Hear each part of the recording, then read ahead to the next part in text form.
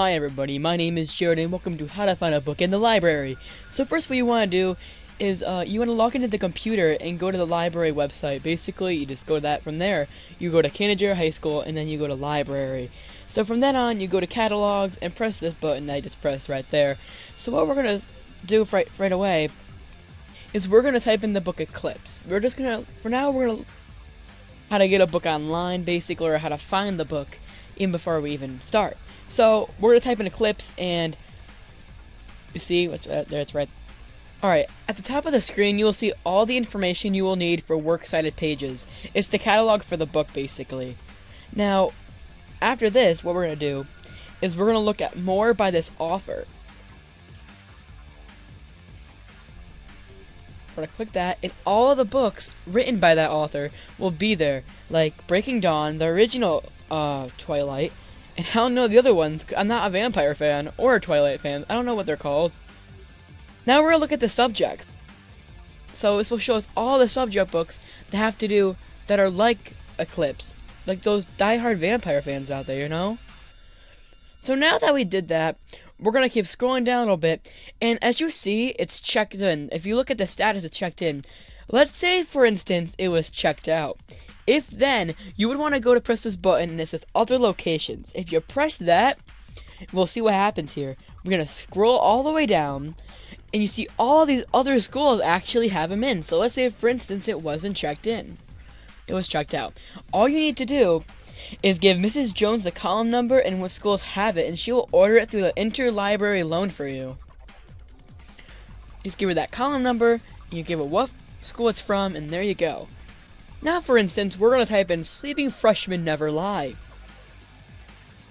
Now we're going to get to a topic how to actually find a book in the library. So right away, we're going to search for this, and if, if see how it's an audio recording, so that's what we're going to be looking for in this video. So all we gotta do now is see on title number three, you see how it says sound recording. This is the one that is located in the library of, of Canajoharie.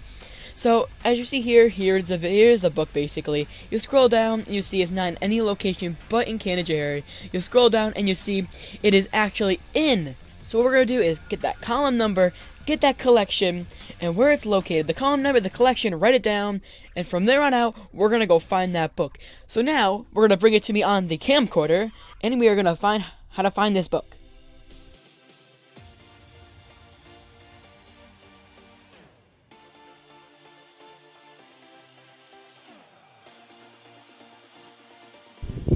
It starts at 0 to 99, which is computer sciences.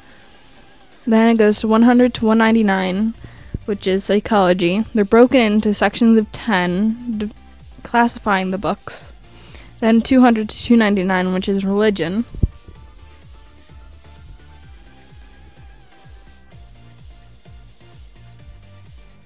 Three hundred to three ninety nine is social sciences.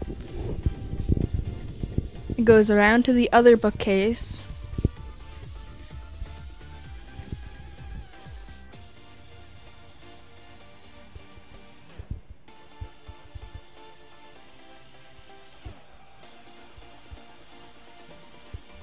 past the magazines. Then it goes to 400 to 499, which is languages. 500 to 599 is science.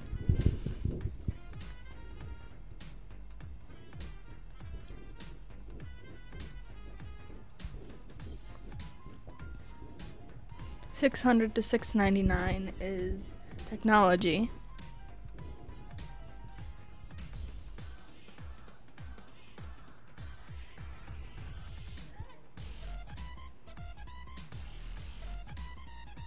Seven hundred to seven ninety nine is recreation and art. Eight hundred to eight ninety nine is literature.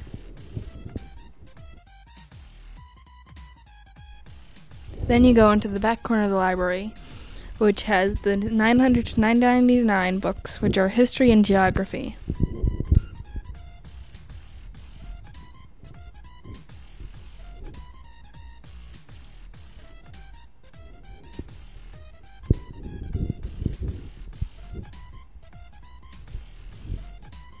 Then there's the biographies, which is organized by the author's last name. Then there's the graphic novel section.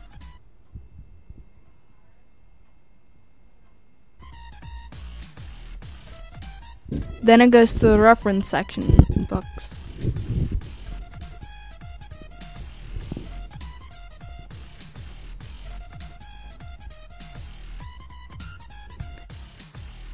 These are the fiction books. They go in order of author's last name. These are the audiobooks. They're paired up with the books that the regular book and you can check them out at any time.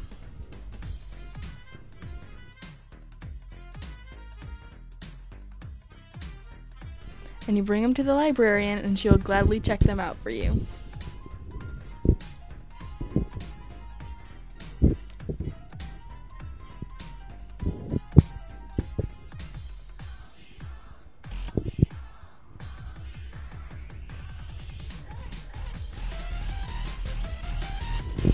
Thanks for watching.